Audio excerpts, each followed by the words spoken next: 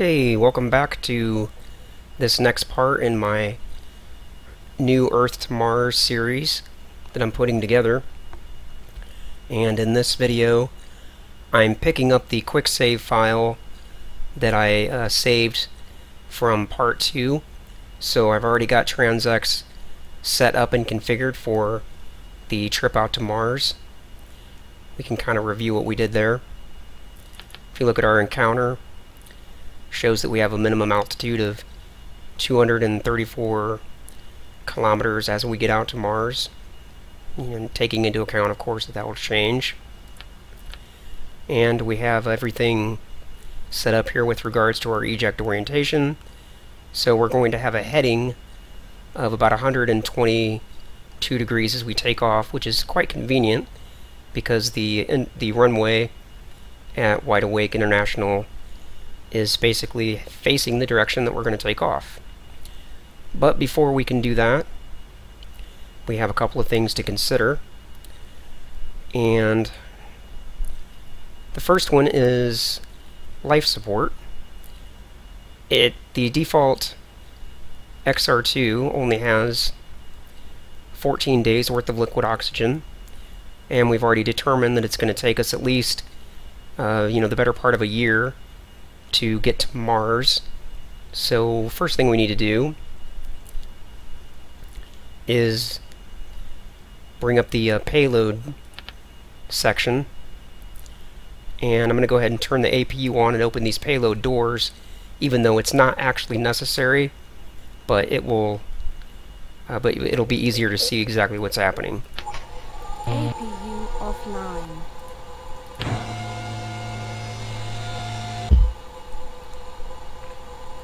Okay, once we have the payload doors open, we can bring up the payload editor.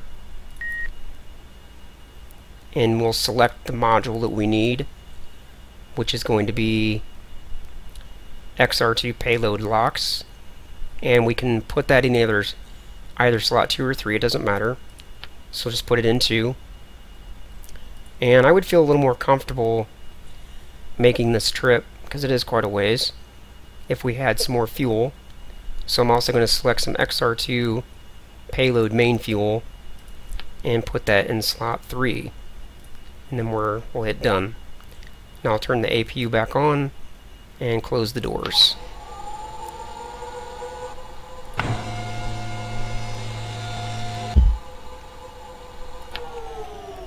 Okay, now let's go and take a look down here at the at the uh, regular panel. And we can see we've got 420 days worth of uh, liquid oxygen. So that gives us plenty of oxygen to get to Mars and hopefully we now have enough main fuel as well. Now before we get going there are a couple of things here that we can set up. Let me press Control F4 bring up an external MFD, select align plane, and something I like to keep an eye on as I'm ascending to orbit, I want to know how accurate my uh, flight path is up through the atmosphere in terms of staying in alignment with uh, my with my relative inclination for you know crossing the correct node to get to Mars. And the right way to do that is if you press ELS over here, it'll bring up this dialog box, and it wants to know the ecliptic, incl ecliptic inclination and the longitude of the ascending node. And that information is given to us right here in TransX. So I'm going to type that in. 28.42 space uh, 100 and then we hit enter and what this allows me to do is uh, as I'm going up through the atmosphere I can keep an eye on my rate and my relative inclination to try to keep that at a minimum number you know per the usual way that we do that when we're going to rendezvous with the International Space Station or go to the moon or do whatever. So that part's all, that part should all be pretty similar to what we're used to. Okay, so now what I'm going to do is get this show on the road. Gonna head out to, uh, gonna head to orbit. Now, I personally like to record all my videos from start to finish without any types of uh, breaks or interruptions. So if you don't particularly care to watch the ride to orbit, then go ahead and skip ahead to the next video uh, because what I'll do here is I'll take off and then as soon as I reach MECO, uh, main engine cutoff, I'll stop this video and then I'll start the next video uh, right after that point.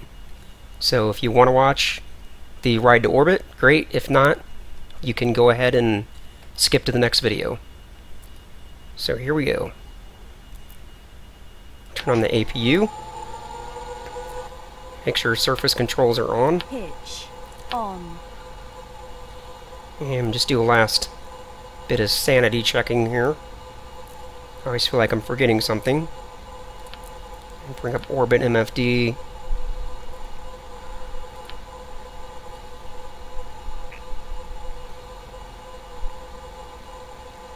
Okay.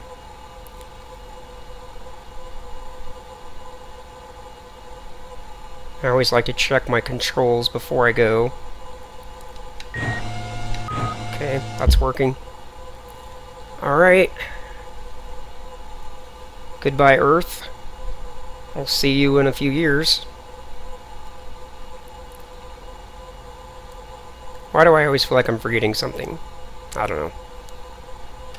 Warning. Onboard external O2 cooling. offline. Could have turned off external cooling for one thing. 100 knots.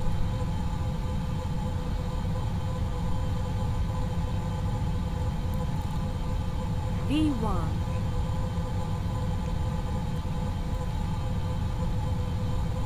Okay, I did not get the rotate call out, so I'm gonna throttle back a little bit and pitch up. Wheels up. Gear up. Raise the landing gear. Gear up and locked. And we'll go back to full throttle. And now immediately I'm going to start keeping an eye on the aligned plane MFD over there to try to get my relative inclination as low as possible.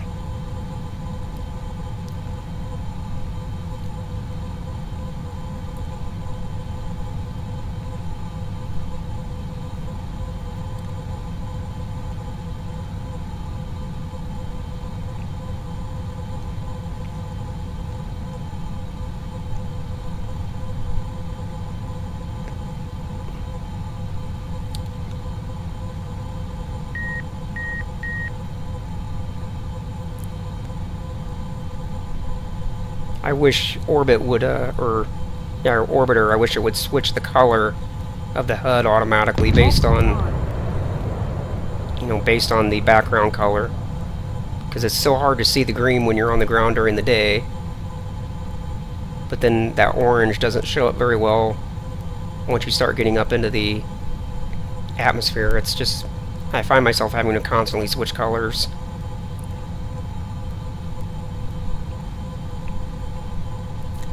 Okay, oops, I should have been leveling out by now. Wasn't paying attention.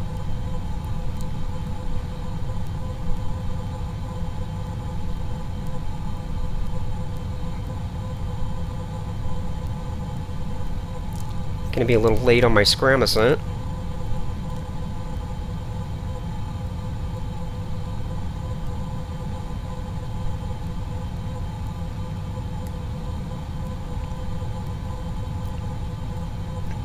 Mach 2.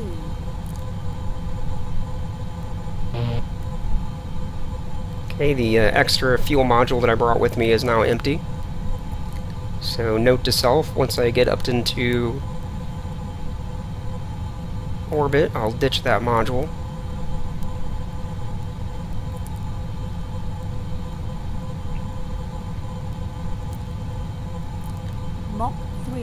There's Mach 3, so we'll open the scram doors. And now we will go full scram and reduce the main engines.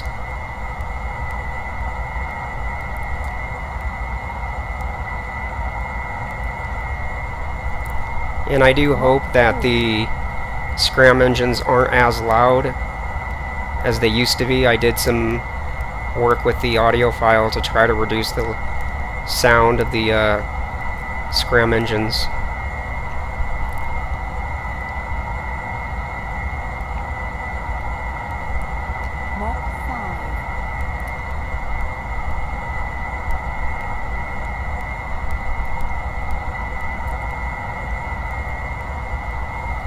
Just a bunch of usual stuff here.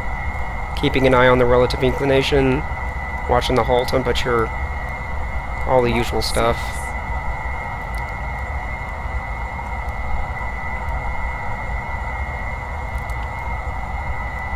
And we can briefly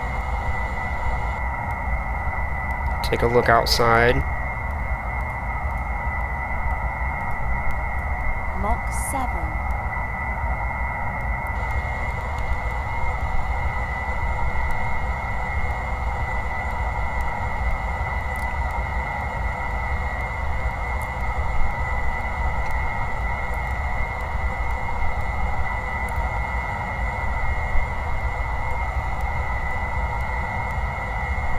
Mach 8.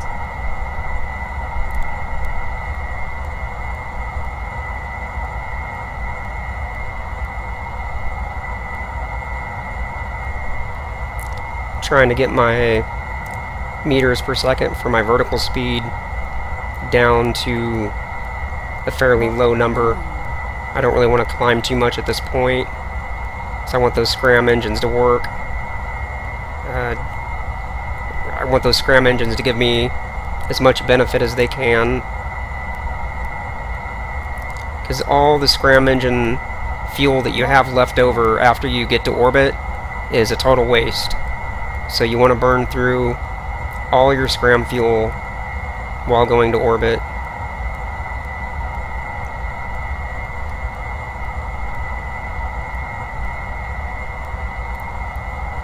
Mach 11.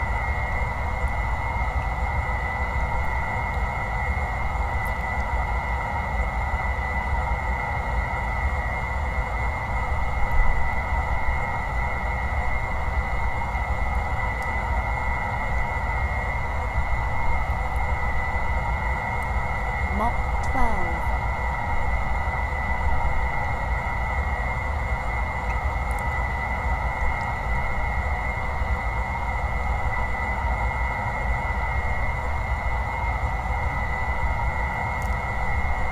Gotta watch my hull temperature, it's creeping up there a bit.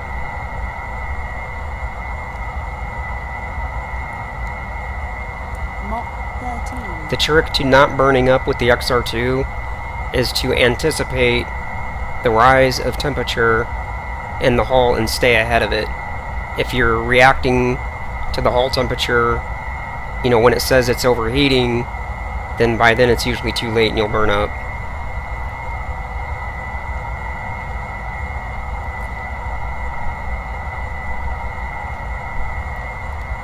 Mach 14.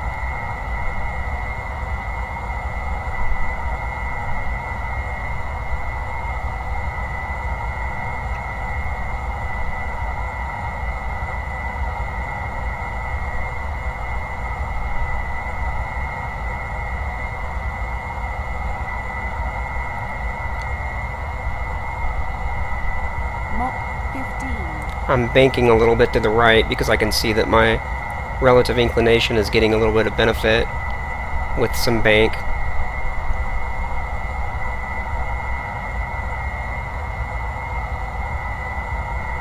Warning, scram fuel low. Okay, I've almost burned through the scram fuel.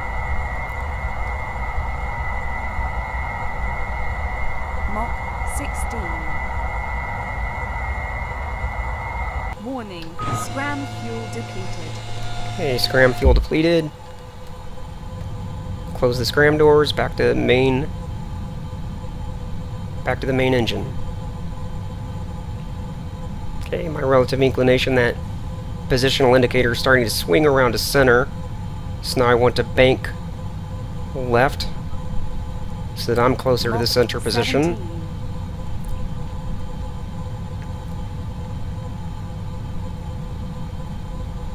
Pitch up a little bit because I do want to get up to at least, uh, you know, 75, 80 kilometers, something like that. Got about 2,000 meters a second to go.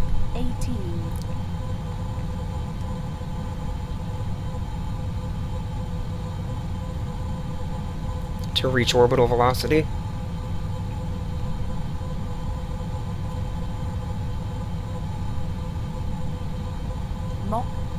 19. APU fuel 90%.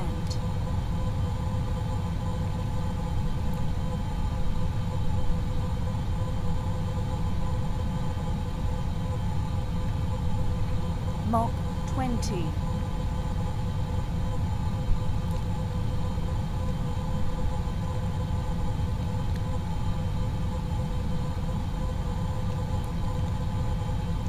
Mach 21.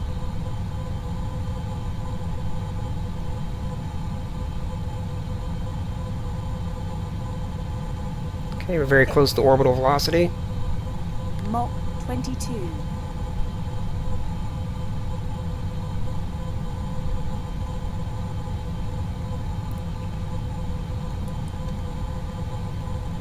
Mach 23.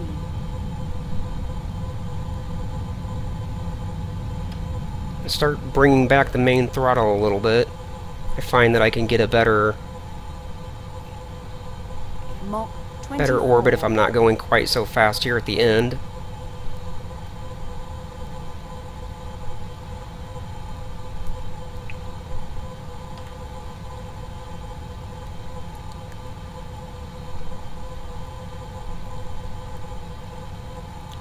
Mach 825 rotation. So my goal here is I want a periapsis of about zero.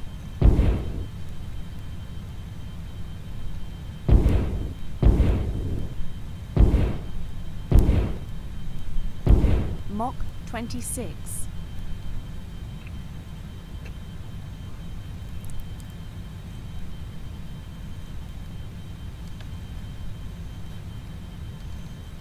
Uh, we'll go with that. It's got the apoapsis at the target of about 200 kilometers, and the periapsis is still below the surface, so that means I can uh, jettison my spent fuel module, and it will go around and burn up in the atmosphere. It's basically the same thing the space shuttle does. Space shuttle does. Okay, so set the joystick over to the side. I'm done with it.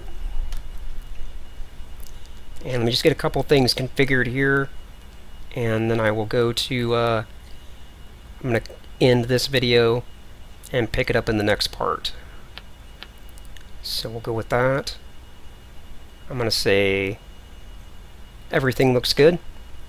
So I'm going to go ahead and end this video here and pick it up in the next part.